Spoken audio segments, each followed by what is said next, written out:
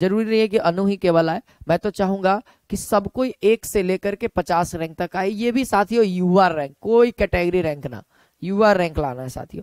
अब इसके लिए सबसे पहला पॉइंट आपको रिवीजन डेली करना होगा। ठीक है, अनु? समझना, अगर आपका सवाल है तो पर डे डे वन से लेकर के, सुनो। डे वन से लेकर के, डे वन से लेकर के आपको लास्ट क्लास लास्ट क्लास तक आप लोगों को दोस्तों प्रॉपर नोट्स रिवाइज करना होगा।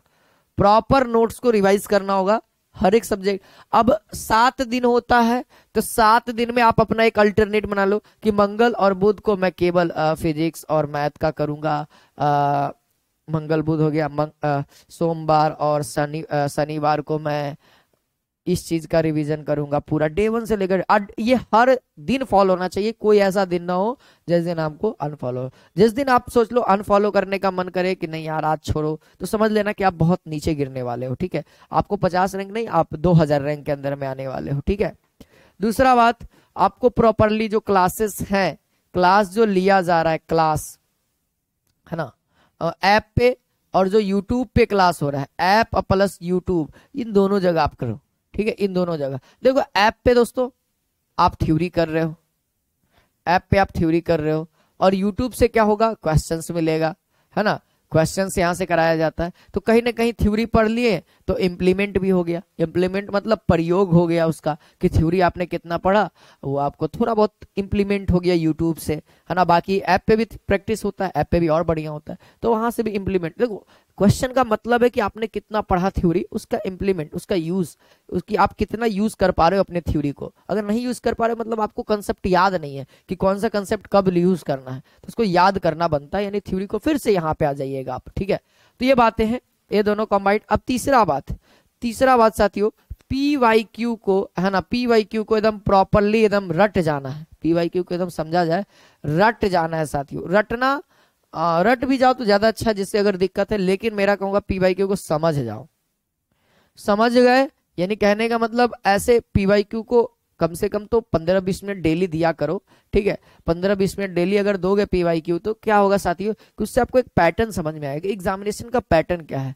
कि अगर इस साल से इस टॉपिक से सवाल आया तो हो सकता है अगले साल भी टॉपिक से सवाल आए। और कौन सा टॉपिक से इस बार सवाल नहीं आएगा, वो तुरंत अगर आप डेली वाइज में यही अगर आप सोचते हो ना तो आपका ये पीवाईक्यू आपका एग्जामिनेशन का पैटर्न आपको खुद समझने में आ जाएगा। और ये चीज़ केवल इस एग्ज़ाम के लिए काम नहीं देगी। आपके सेमेस्टर का एग्ज़ाम मतलब ये जो इतना महत्व, ये बात है ना, समझ।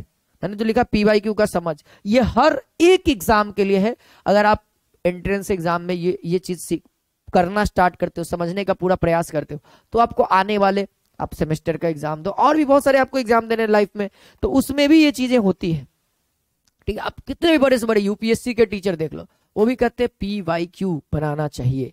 क्यों दोस्तों? क्योंकि पी वाई क्यू की समझ होनी चाहिए। क्या पढ़ना है और क्या छोड़ना है? जिस दिन ये समझ में आ गया, हर एक एग्ज़ाम क्लियर है। हर एक एग्ज़ाम क्लियर है। तो ये तीन चीज़ें हैं जो आपको करने चाहिए, है ना? और भाई क्वेश्चन तो प्रैक्टिस हो ही रहा है। एक्स्ट्रा कोई किताब उताब है तो उसको भी बनाया करो, है ना? पांचवा नंबर चौथा नंबर आप बुक्स बनाया करो, है ना बुक्स और दूसरी बात बुक्स मतलब उस चीज़ का, आपके सिमिलर आपके सिमिलर सिमिलर एग्ज़ाम्स को भी बनाया करो जैसे कुछ बच्चे पैरामेडिकल का एग्ज़ाम दे रहे हैं।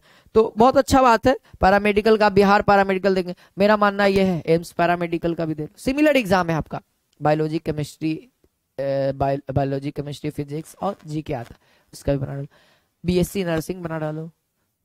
जितने भी कॉम्पिटेटिव एग्ज़ाम है सब करो। है ना? आ, बिहार पैरामेडिकल का तो प्रॉपरली कर ही रहे हो। साथ ही साथ देखो इसलिए करने के लिए कर रहा हूँ कि आपको क्वेश्चंस की कमी नहीं होगी। यूट्यूब पे भी लिमिटेड है साथियों। लेकिन जब आप अलग अलग एग्ज़ाम सिमिलर एग्ज़ाम में जाओगे, अपने से, अभी नहीं कि आप दे रहे हो मेडिकल का एग्ज़ाम अब फिर आप कर रहे हो उधर आर्मी का तैयारी। तो वो उस लेवल का नहीं। मेडिकल है तो मेडिकल फ़ील्ड में ही, क्योंकि मेडिकल में बायोलॉजी का महत्व होता है साथियों। तो उसी को देखने वाले ठीक है? ज़्यादा दूर नहीं जाना। मेडिकल से रिलेटेड कोई भी एग्ज़ाम्स को आप कंटिन्यू करो। सर, मैं पटना में दिग्घा में हूँ, अभी मैं, आप कहाँ मिलेंगे? मैं अभी बाबू सरफराज आला, आप दिग्घा में हो? दिग्घा में क्या कर रहे हो? बुक नहीं है, खरीदो। बुक नहीं है, अन्नू जी तो खरीदिए। ठीक है।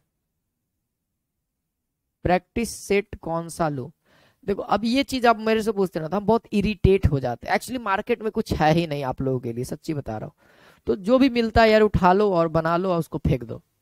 देखो मेरा मानना है, बनाओ उस चीज़ को। अगर उस किताब का आपको लाइफ में यूज़ है तो रखे रहो, नहीं तो रद्दी के भाव में बेचो और जो पैसा आएगा, उससे फिर नया किताब खरीदो, फिर उसको बनाओ, पूरा बना लो, फिर उसको रद्दी के भाव में बेचो, फिर जो पैसा आएगा, फिर किताब लो। इस तरीके से करो, ठीक है? अगर ज़्यादा दिक्कत है तो।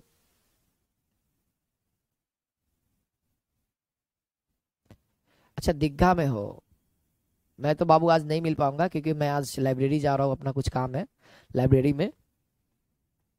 ठीक है तो आज तो नहीं मिल पाऊँगा क्योंकि मेरा भी बहुत दिन से क्लासेस वगैरह पेंडिंग पड़ा हुआ है ना, जैसा कि आप लोग को बोल रहे थे सर प्रैक्टिस सेट भी पेंडिंग पड़ा हो तो मैं जाके उस पर काम करूँगा अभी कुछ देर, ठीक है। फिर आईटीआई का भी क्लासेस बंद है तो मेरा पूरा रूटीन पूरा डिसमैच होया हुआ है तो उस रूटीन को सेटल करना है आज, प्रॉपरली रूप से तो आज तो नहीं हो पाएगा, मैं मिल पाऊँगा किसी से।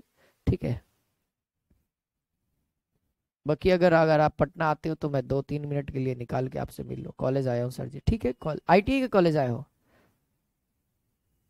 हाँ एक दिन में, ज़रूरी नहीं अन्नू, एक दिन में एक सब्जेक्ट। आपके कैपेसिटी के ऊपर आप जितना पढ़ सकते हो, उतना पढ़ लेना।